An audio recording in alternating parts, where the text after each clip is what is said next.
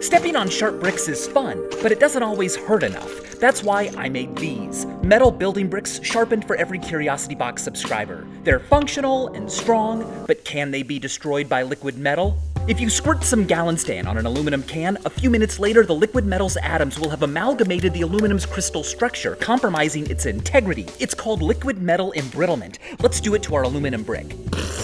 Yeah, that looks good. You know, after I did this, I thought it looked so good, I went ahead and added the brass one, and then I was like, what the W, let's do them all. We should scratch their surfaces to remove any protective oxide layers and then let them rot overnight. 17 hours later, they're fine. Strong as ever. Hmm, well, you know, a higher temperature could help, so let's cook. Mmm, a silvery, shiny stew hot enough to Leidenfrost water. Nevertheless, they've persisted.